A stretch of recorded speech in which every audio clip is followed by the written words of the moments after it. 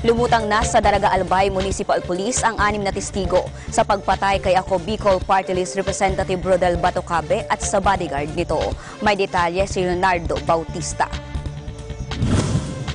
Anim na testigo sa pagpatay kay ako Bicol Party List uh, Representative Rodel Matucabi at bodyguard nitong si Senior Police Officer 1 Rolando Diaz ang dumulog na sa Daraga Albay Municipal Police.